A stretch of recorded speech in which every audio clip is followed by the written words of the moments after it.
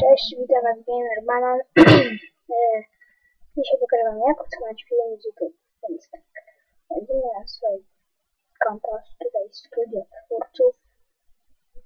E, Tak, tutaj mamy różne takie filmy. I